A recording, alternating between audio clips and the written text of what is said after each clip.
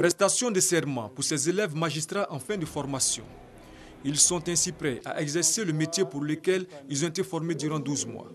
Une joie pour ces nouveaux magistrats, ravis de faire désormais partie de la corporation. Nous sommes vraiment très fiers et très contents parce que par cette cérémonie de serment, nous avons juré de bien faire notre travail. Et c'était vraiment un moment très émouvant. Au-delà de ces instants d'émotion, c'est une longue et belle carrière qui attend nos nouveaux auditeurs. Une carrière qui a ses exigences. Pendant un an, ces jeunes gens ont appris le droit. Ils ont renforcé leurs connaissances en droit. Et aujourd'hui, avant de pratiquer euh, la justice, euh, ils doivent être autorisés.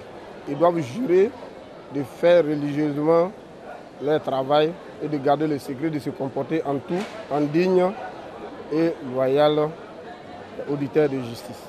Reste pour ces 16 auditeurs à achever un an de stage pratique avant de revêtir définitivement la touche de magistrat.